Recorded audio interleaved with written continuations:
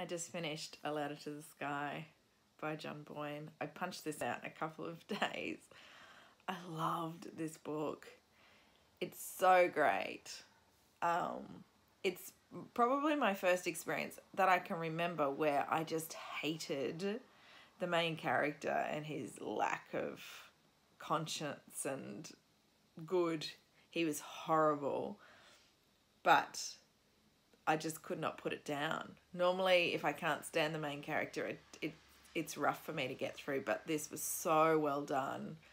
This is all about what you do to succeed in the vocation that you want. This man wanted to be a writer, and all he wanted to do was be the greatest writer in the world, and he stopped at nothing, at nothing to do it. He was just a complete ass. And even till the very last page of the book, he was a complete ass. I love John Boyne's writing. This is his latest novel. Um, it's the third one I've read. It, every one of them have got a five stars. I've read um, A Heart's Invisible, Invisible Furies, which I loved. I read um, A Boy in the Striped Pajamas, which I loved, and now this, which I love. They're all five star books. Yeah, there's something about John Boyne's writing that makes me really happy, and yeah, I really enjoyed it. And I'm really glad that um, another booktuber, an Australian booktuber, Rene, I'll link his channel, he's great. And he had read this earlier and um, wanted to talk to someone about it. And I realise now, having read it, that uh, you know you needed to to be able to work out what the hell was going on and what you were feeling. And I was, I'm glad I got to bounce off Rene through this. Anyway, I'm grateful for for having booktube friends. That's what I wanted to say. Yeah, do yourself a favor, pick it up. It's a fabulous read. It really is.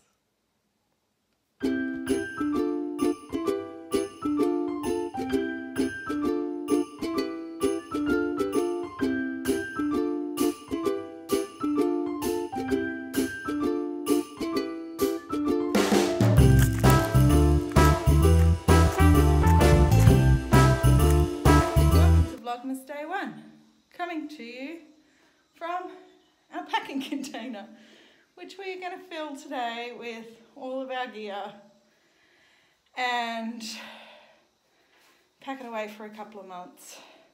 We're all involved. It's going to be a big day, a big hot day.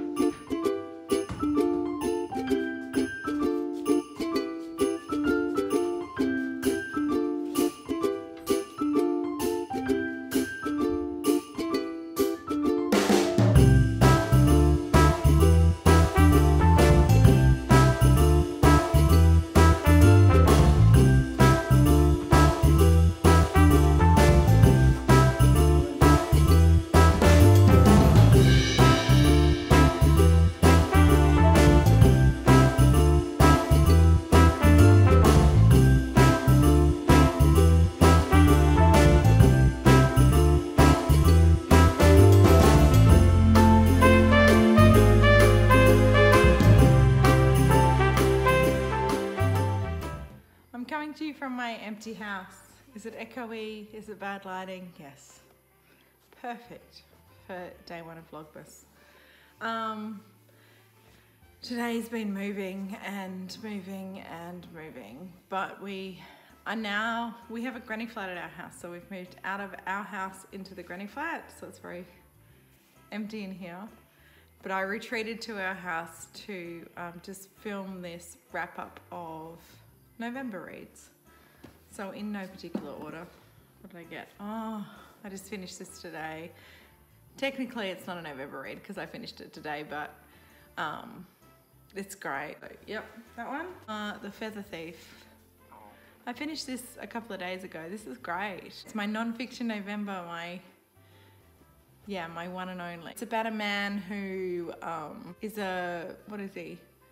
No, he's not a fly fisherman. He likes tying flies and he wants to get all of the feathers to make all of the historical flies. And so he steals them from the Natural History Museum. He gets caught. That's the only spoiler I give you, but there is far more to this story than that. I would highly recommend this book. I gave it four stars. It's great. Oh, the book with the longest title in the world by Jessie Greengrass. I need to read Sight by Jessie Greengrass after reading this book. I gave it three stars, but only because uh, it's short stories and that is just not my deal at the moment. But I loved her writing so much, so I will read Sight for sure. Ah, Murder at the Brightwell. What a great book. This is an easy read. It's a great whodunit, but it's not the same as everything else. It's, I mean, the plot is the same, um, but the characters are awesome. They're vivid, they're alive. Our main gal, Amory, she is just witty and confident and awesome and I loved this book a lot. I would highly recommend it. This is the first in a series of six I think so I will definitely read more of that. Ugh. Yikes. I didn't like this book. This is Go Went Gone by Jenny Erpenbeck. Why didn't I like it? It was stoic. The main character was horrible, but he was so different to Ladder in the Sky Horrible. He was, oh, I don't know. I don't know what to say about this. This has got such rave reviews. It, I was, it was so highly anticipated by me. I just had this in the back of my mind for so long. And I just found it so clunky, so boring, so short and sharp. There was no empathy, there was no emotion the end of the book turned it around and I've spoken about this before. I can see where she was going, but really it wasn't done well. And I'm sad about that. I wouldn't recommend it. That's where I'm at. I'm at a two star on this one and that's pretty crap. But yeah, it is. I read this with my sister, which was wonderful, but she hated it too. So I feel like I'm justified in saying it was a really bad read. Sorry if you love it. Arcadia. Oh, Arcadia. Lauren Groff's writing's amazing. If you haven't read any of her books, please do. It's important that you do because her writing is amazing. Arcadia was great. Her writing shone through, no doubt. I just, it jumped ahead. It had four parts, and each part was at least 10, 20 years between each part.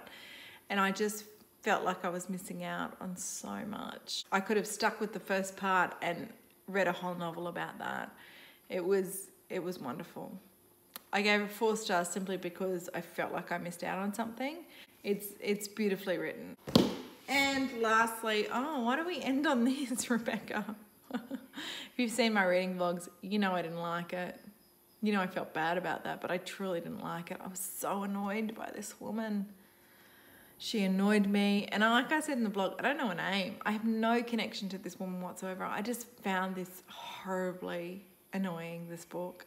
And I know that so many people love it and have given it five stars and raved about it, but I think Daphne du Maurier and I are done after this book, which is not cool.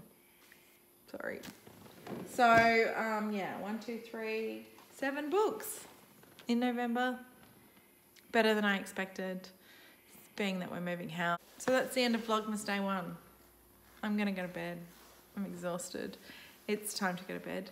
I will see you tomorrow, I guess. Daily vlogging.